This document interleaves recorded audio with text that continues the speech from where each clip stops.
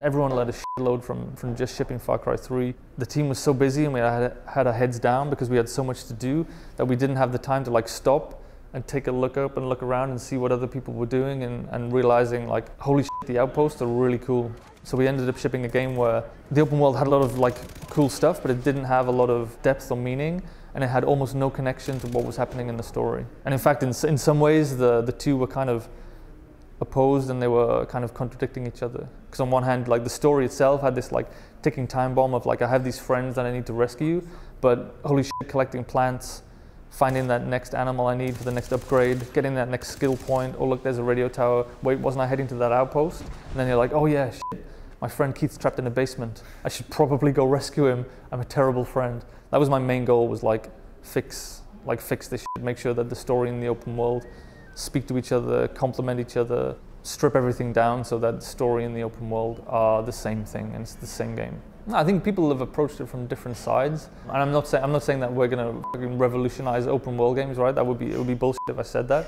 It's just we we're doing something that we're fixing the problems that we thought we had we thought we shipped with three. We were definitely aware of some of the tropes that we fell into unintentionally in some cases, intentionally in some. And one, one of the one of the areas that we like it was almost the first thing that we did was decided how we were going to address the kind of the white savior trope, right? Of the the outsider who comes in and helps simple people with his outsiders kind of more advanced understanding of the world. You know what I mean? It's like because the first thing we did was design Kyrat as a place. So we, we knew uh, we knew the history and the culture of the place and then we decided who the character would be and where he would be from. And like the first thing we said was this guy is from Kyrat. No matter what happens, like that is the most important thing is he is part of this world. He belongs here. That's where his, his parents are from. That's where his, his, his family are from, right? So when you go back there, it's a place you belong to. So the, everything you do is kind of part of your history and culture and background. But at the same time, we want to make him accessible and understandable. And the most important thing is like one of the key pillars of the brand, not even just the game, like the brand is discovery. So if this guy already knows too much, then as a player, I'm going to feel alienated by how much he knows, right? We still want to capture that the fish out of water kind of experience, like holy shit, this is all new, this is a different culture, because we're trying to build this authentic Himalayan culture. So we want people to, to, in some cases, be shocked by it and to, and to learn and to discover. We came up with AJ Ghale, who was he was born in Kyrat. Um, his mother and father are both from Kyrat, but he left when he was three or four years old because there was, you know, there was a civil war in the country. His mother ends up fleeing the country, and she uh, she seeks asylum in the USA. And he essentially grows up from the age of like four in the US. So he's coming back to a country that he essentially doesn't know much about, if anything. But when he arrives back, everybody knows him. Everybody knows his mother and her acrimonious exit Everybody knows his father because his father was the founder of the revolution. That's still happening today. That's still fighting the civil war. So just his name, AJ Ghale, gets him in trouble. Even to the point that his whole life he's called himself AJ Ghale, right? But his name is actually pronounced RJ Ghale. So immediately he's like, oh, even his name, right, is pronounced differently, and it's the thing that gets him in trouble. So the player and AJ kind of can have that same learning experience. But at the same time, as a player, you feel like you belong there and you're not coming in from the outside, um, kind of disrespecting a culture because that's where you're from. So, are you guys worried about being seen as insensitive towards that part of the world that the country is based on? Um, well, I think that's one of the reasons we, we went there, right, was to really understand it and to get a better, a better appreciation of the culture. Um, and we're not we're not specifically rebuilding Tibet or specifically rebuilding Nepal because we want to be we want to be credible and we want to understand how that how that part of the world works and functions. But at the same time, we also go to the trouble of making a, making a new country, a new history, a new backstory. Like we even made our own religion, right, which is inspired by um, areas like Nepal and Tibet and the Himalayas, but it doesn't directly reference. So we're not going to actually step on anyone's toes if we want to kind of push the game into like uncomfortable spaces. Almost everyone you meet is from Kyrat. We have a few outsiders, um, and they're generally bad people. The Jason Brodies this time around are the bad guys. Like the outsiders who come in and try and have their uh, escapist white savior fantasy are actually the bad guys, and you're on the other side of that. So it's like an, an evolution of us trying out our own ideas. And I must say, like, we probably won't get it. We won't get it perfect this time around either, right? But like, if we don't take risks, then everything will be boring. Like it's it's easy to do safe, um, and that's not it's not what we're about as a team.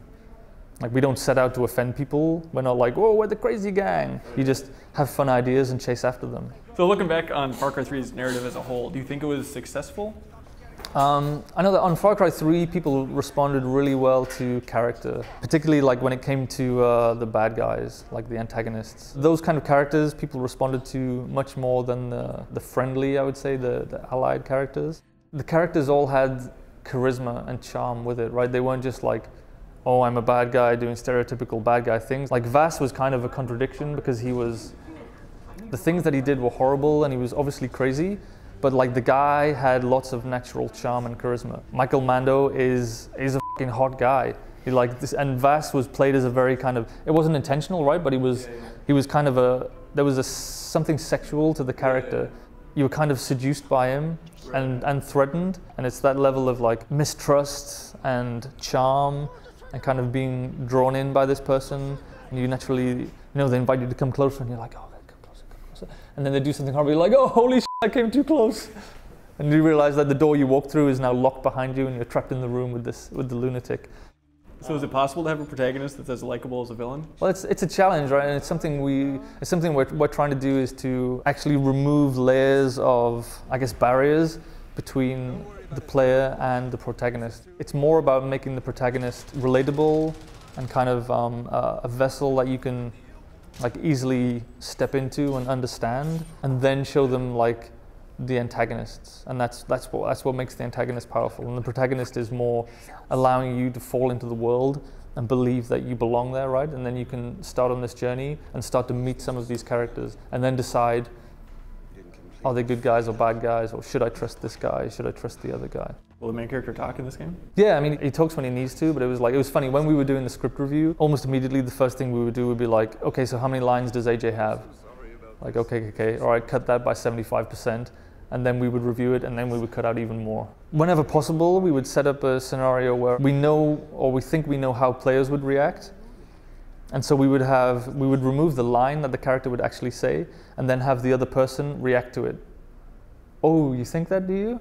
In that kind of way. So they kind of, they're like, oh shit, how did he know I was going to say that? Whereas if, if, the, if the protagonist said that line, you're like, oof, uh, I, wouldn't, I wouldn't have said that. And then suddenly you're kind of broken out of the experience. I'm coming for you, boss. You think that happened a lot with Jason in 3?